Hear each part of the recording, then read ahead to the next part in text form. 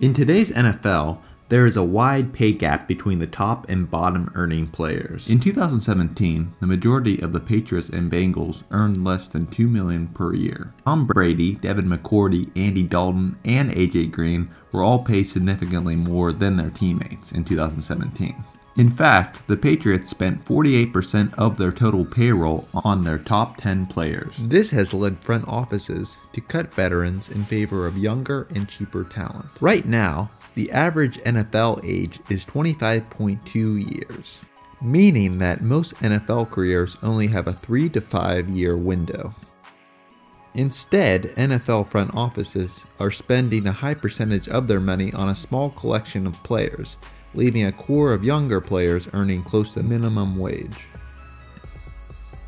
In fact, in 2017, the data journalism site 538 found that the eight division winners spent 52.1% of their salary on the top 10 players, leaving around 50% of the remaining money to 80% of the team's roster. While veteran quarterbacks continue to receive lucrative deals, other positions like running backs often sign for less money. This includes former elite running backs like LeSean McCoy, Ezekiel Elliott, and LeGarrette Blunt, who earn way below most veteran quarterbacks. On average, the pay difference between 30 plus year old quarterbacks and running backs is $4 million. Elliott cuts back. Sink. Touchdown. Because teams are spending so much on a small number of players, organizations like the Cincinnati Bengals are willing to let free agents go and sign cheaper and younger talent.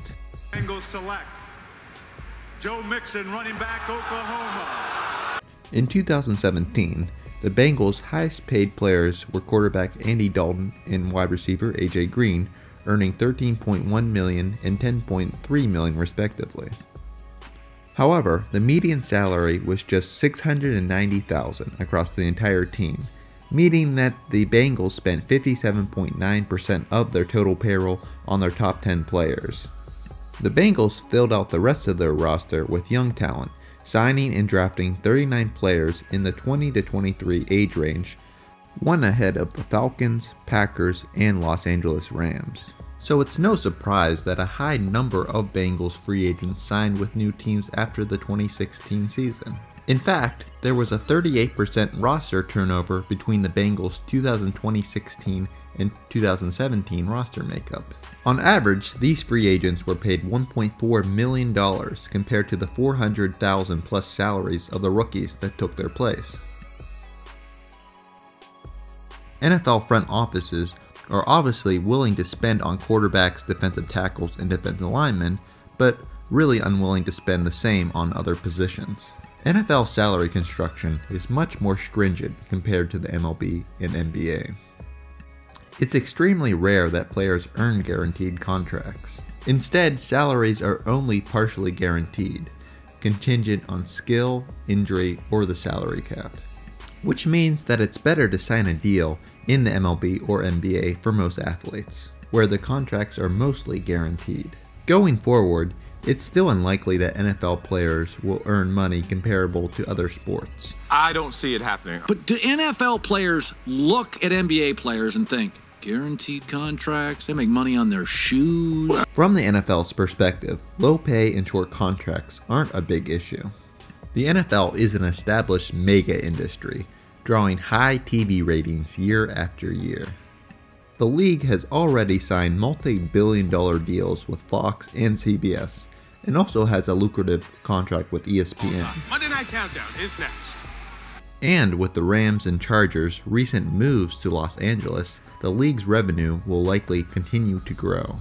Uh, the NFL owners tonight uh, approved the return of the Los Angeles Rams to the market, uh, starting with the 2016 season.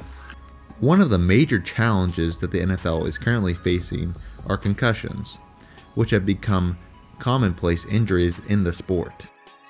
Research finds that chronic brain disease is caused by repetitive hits to the head, which can lead to symptoms including loss of memory and violent behavior. The reality is that current and former players are susceptible to enduring long term brain damage. Chronic traumatic encephalopathy. Why do you believe you have CTE?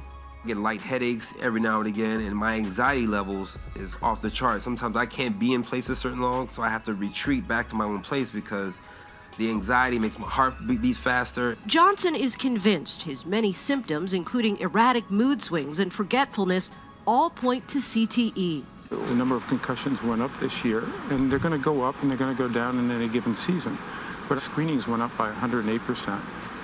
The current collective bargaining agreement between the players and the NFL owners expires in 2020, creating the potential for a lockout with growing tension between the two groups based on roster construction and salaries, which would certainly put a hit on the league's revenue and highlight the NFL's poor treatment of its players.